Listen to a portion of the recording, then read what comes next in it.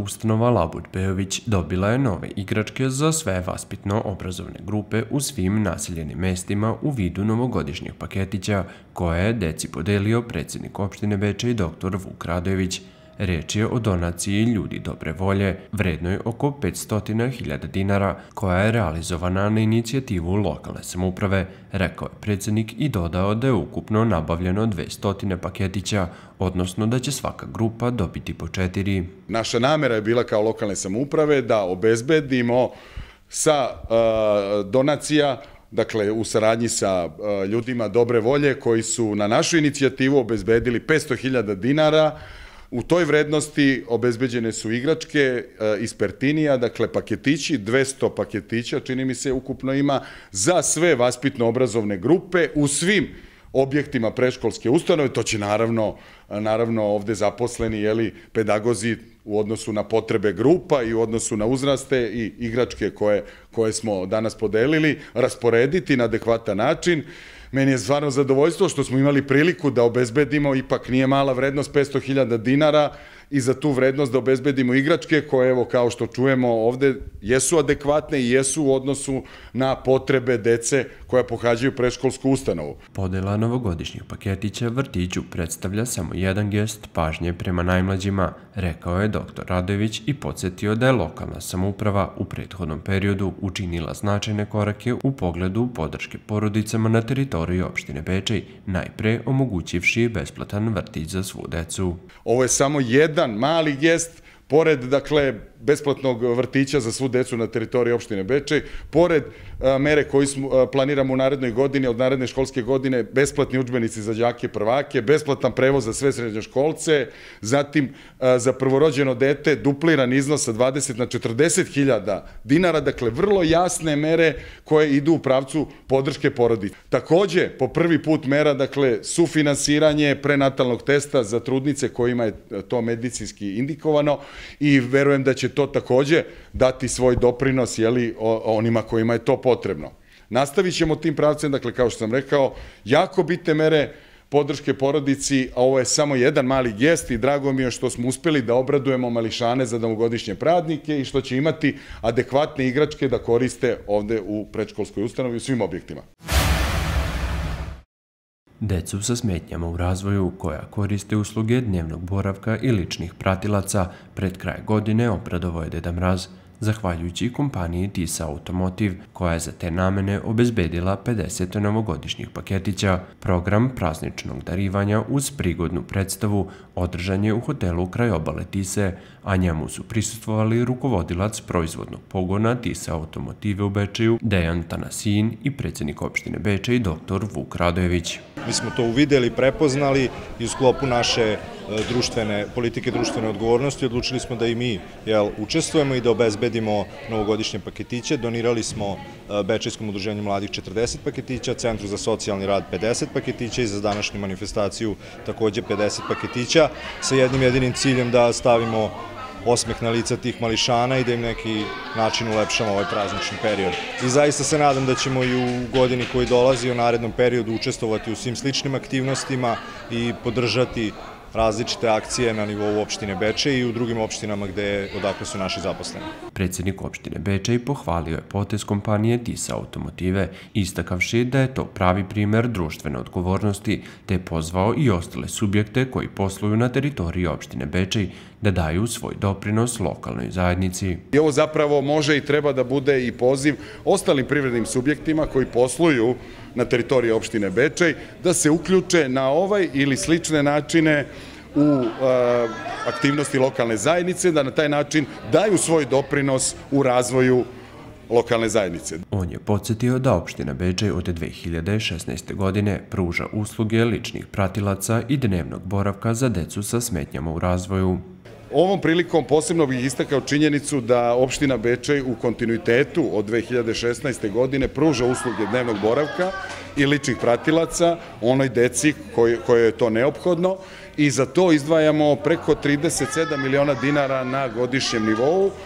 Najvećim delom je to iz budžeta opštine Bečej, ali naravno i uz podršku Ministarstva za rad, boračka i socijalna pitanja. U toku ove godine trebalo bi da bude započeta rekonstrukcija škole za osnovno i srednje obrazovanje Bratstvo u ulici Đure Jakšića, za šta je pokrajinska vlada opredelila oko 160 miliona dinara, rekao je dr. Radović i dodao da je lokalna samouprava krajem prošle godine u dvorištu škole u Dositejevoj ulici izgradila standardizovano dečije igralište prilagođeno potrebama dece sa smetnjama u razvoju. Vaterpoliskinje Panioniosa 2009. godišta osvajačice su drugog memorialnog turnira Čika Pišta Mesaroš, održanog na zatvorenim bazenima u Bečeju. Učešće na velikom međunarodnom turniru, namenjen takmičarkama kadetskog uzrasta, uzelo je osam timova, od čega dva uzrasta reprezentacije Srbije. Još jedna uspela organizacija drugog turnira Čika Pišta Mesaroš ne iz mojih usta, nego prenosim impresije, impresije gostiju koji su učestvovali na ovom turniru. Poznato je da su bile dve grčke ekipe Panionios i Panionios 2, da su bile dve mađarske ekipe Dunovi Varoš Senteš i da su bile dve španske ekipe Mediterani i Terasa zajedno sa našom reprezentacijom koja se isto podela u dve ekipe. 20 utakmica za dva i po dana, jedan lep oduhvat, Eh, ono što je meni najbitnije da su eto, gosti zadovoljni, da su se lepo proveli u našem gradu i da su uživali na našem turniru. Sigurno ćemo nastaviti ovu tradiciju, jer Čika Pišta je neko ko je ostavio dubokog traga u ovom klubu i zaslužuje sigurno da se ovaj turnir nastavi i sledeće godine.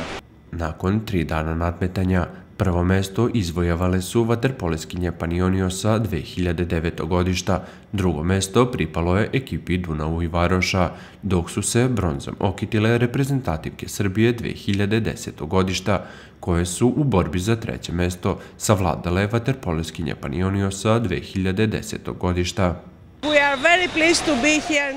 Jako nam je drago što smo učestvovali na vašem turniru i nadam se da ćemo se i sledeće godine družiti na njemu. Puno nam se dopalo takmičenje i odlično nam je poslužilo za uvežbavanje tima za utakmice koja nam predstoje sledećeg meseca u Grčkoj, kako za turnire, tako i za prvenstvo.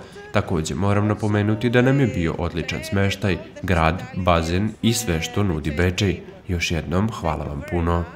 Kada je reč o pojedinačnim priznanjima, titula najboljeg golmana pripala je Loli Balog iz Duna u Ivaroša, Za najboljeg strelca proglašena je Bečika i reprezentativka Srbije Maša Ćuk, dok je igračica turnira Androkina Karagani iz Panioniosa. Nakon drugog memorialnog ženskog turnira Čika Pišta Mesaroš, Bečejski vaterpolo klub i grad Bečej priprema se za još jedan veliki memorial.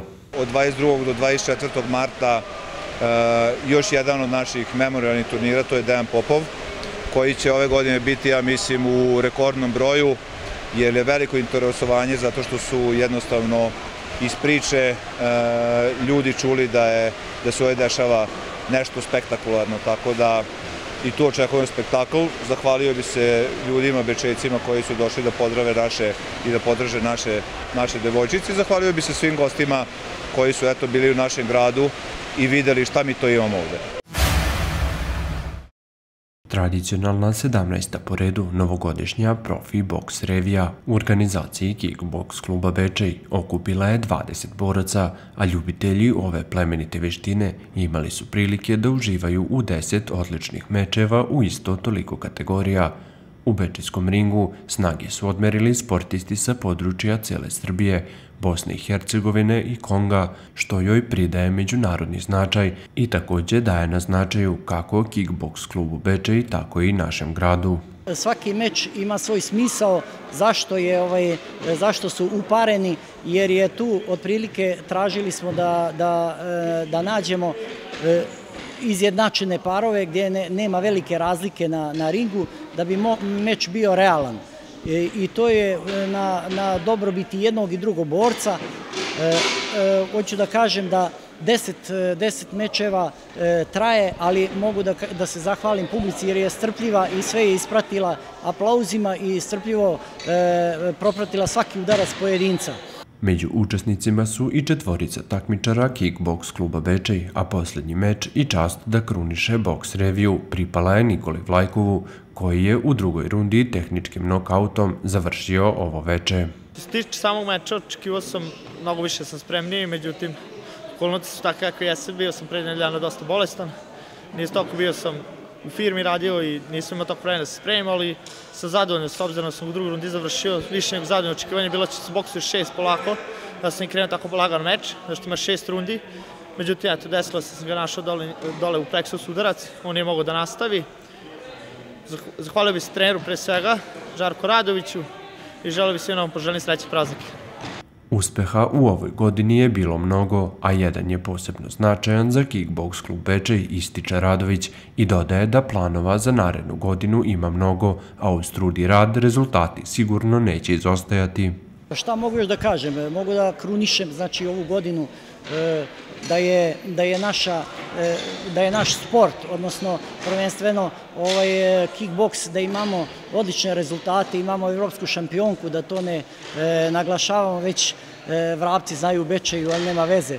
Ovaj, hoću da kažem da sledeća godina nas isto očekuje puna izazova, puna, e, puna dobrih mečeva, nadam se isto tako profi mečevi, pošto smo u, tradicionalnim ovaj, ovim revijama, to znači da ćemo i dogodine se družiti uz, uz profesionalce naše.